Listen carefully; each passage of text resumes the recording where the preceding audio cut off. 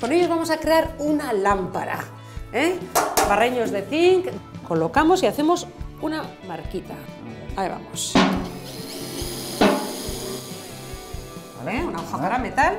Lo que hacemos es introducirla. Apoyamos y vamos a ir haciendo, vamos a ir a la vuelta al ruedo.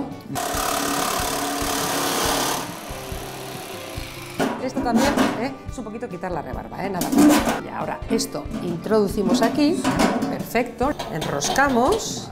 ¿Qué os parece? ¿Eh? En un chulo, ¿eh? momentito. La altura un poco la regulamos a tu, a tu gusto, Así ¿eh? está bien, así está está bien. bien. Sí. Venga, enciende. A ver si te vas a dar un castañazo.